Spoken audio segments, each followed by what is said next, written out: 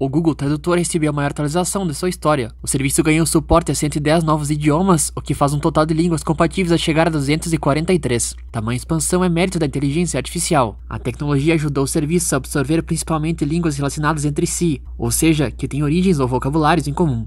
A expansão inclui idiomas falados por pequenas comunidades indígenas, alguns dos quais com poucos falantes nativos atualmente. O Google Tradutor pode ajudar a evitar que essas línguas sejam extintas, portanto.